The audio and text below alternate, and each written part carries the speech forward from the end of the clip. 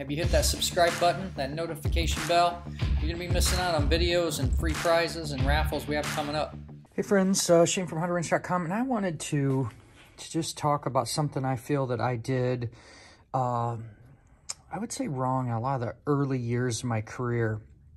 And that was on decision making on should I replace a part or should I bend a part back and, and reuse it and what that looks like. So in this little video, it's just gonna be a really quick tip. I'm repairing some crash damage on a customer's motorcycle and they're a newer rider and they said, I'm really not interested in doing like total beautification. So we were looking at the safety stuff, obviously like turn signals, they're not gonna repair uh, this body. It's in solid piece and we'll be able to mount to the motorcycle good. Um, but the, the shifter was bent, um, didn't have any lever damage, but what I really want to talk about is uh, levers and linkages and bending them back. So it's really common, and, and I'd be a liar to say that I haven't bent a lot of levers back. And, oh, it's not that bad. And, and, and really, this is a great example because it's pretty thick, right?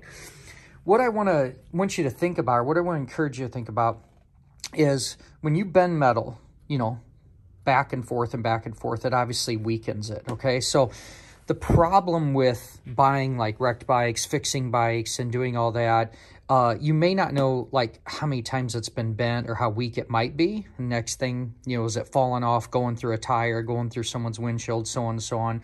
Go to grab a gear and it's not there, all kinds of bad things. But I, I think where people really go wrong is they go, ah, oh, I'm not going to waste the money. And I think the huge mistake I made in my career was I always just made these like dumb assumptions, if you will, like this was a crazy expensive part. So uh, because I don't remember and I'm making this video, I'm going to put them up here in the corner and show you the price of these. I do know that for a customer's bike, this isn't an option for me.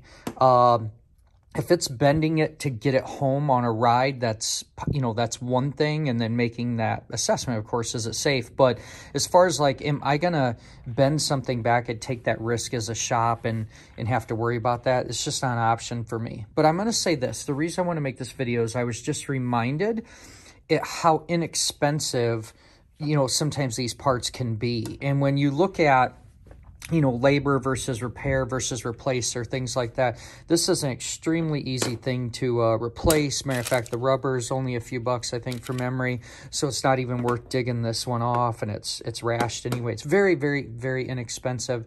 Pop this on go and I don't have to worry about that. I don't have to um, also uh, assume that, oh, you know, this joint, this, you know, this ball joint feels good, but is it really good? All that, you know, it's just make it new and it's, and it's good to go. Now, I understand that repairing motorcycles is just that. It's repairing motorcycles. And we're going to make those decisions on what, you know, what makes, makes sense. I mean, that's what we do as technicians. Like, you know, should we replace or should we repair it? So I, I just think this is a worthy conversation and I hope it gets you, uh, you know, just thinking about, you know, what are what are the parts that should be kind of no-brainers, especially for a service shop that's doing it for a customer, but even for yourself. Um, you know, I when I think about levers, probably where I really learned this lesson, you know, super, super, super important when I was young. I mean, I was like in my 20s. There's a friend of mine on his dirt bike, was an awesome, awesome rider. Uh, had a, a lot of things going for him or whatnot but he crashed his uh, dirt bike and he bent his lever back. No big deal or whatnot. But the next time he crashed, this ball had broken off. And then as the bike kind of flipped around, this ended up coming and landing on him and piercing his spleen because now with that broken off piece, it was this razor sharp point. And I remember being, uh, you know, in my in my early 20s thinking, holy smokes, I would have never in a million years thought about that, you know? And so, especially it kind of cracks me up in the chopper scene where a lot of people put razor sharp points and things. I'm like, ah, kind of makes me nervous right away. Uh, I've seen foot pegs that are ground down that are crazy dangerous to uh, to pierce you in an accident. Anyway, that was my tip of the day. I hope you appreciate it. Make sure and like, share, subscribe. If you got a friend that you think would benefit from this, that's maybe bending all their stuff and wrecking a lot, you might want to share this video with them. As always, my friends, like, share, subscribe, make it a great day, and keep wrenching. Hey friends, we're super excited to announce that the How to Wrench channel has been approved for memberships. What's that mean for you? What would it look like if you could get member-only content? Many of you have been asking over the last year as we've put out surveys and, and tried to get some feedback that you missed the old deep dive long videos and the, the real uh, explain content. Those are very hard to produce and they're very costly. They take an immense amount of time, especially to make it uh, creative and interactive for you to get that deep understanding. We have a lot of schools, institutions, do-it-yourselfers. I mean, really people from all over the world in over 200 countries are using our content to get a deep understanding to uh, help themselves or to advance in their career. Well, those videos are coming back. That's the kind of content that's going to go in this membership channel because we can offset some of those costs. So that's one, you're going to get the deep dive videos.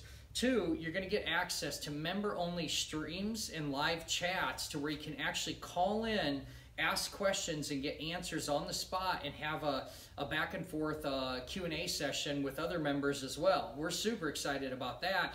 And with the member channel, it's going to really make it more intimate. We're going to be able to bring that back into more of a, of a community instead of all the yahoos out there that are just causing trouble and being idiots. This community has always been about helping each other and uh, getting those answers to the questions we need. I mean, you, you got to remember, I love YouTube too. When I want to learn something, it's quite often one of my first go-to places to get information or to learn something that I'm trying to do. So we, we love that we can do this for you as well, and we just want to make this uh, a community that is, is more attentive. So we want to be more relationship focused. That's a big thing of the memberships.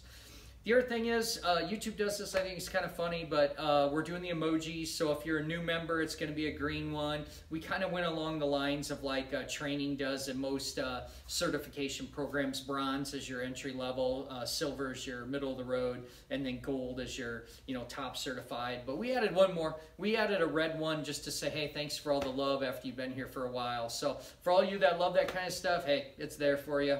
Um, what else are you going to get with this? What you're going to get is really honestly, in, in, my opinion, it's really a way just to say thank you. We've tried really hard over the years to figure out creative ways to not beg, if you will, but to try and encourage and remind people that, hey, I, I got a full-time job. Like I do this and have always done this on my own buck. All these expenses are my own. Uh, as I moved to this new location, Phoenix, it's really expensive. We got a building, insurance, uh, you know, it, we got everything. So uh, it costs a lot to be able to do all this, and we really do need your help to offset some of that. So this is a way for you to really easily just say thank you and create that, you know, like I said, that deeper relationship with us as well to get the answers that you want and you need.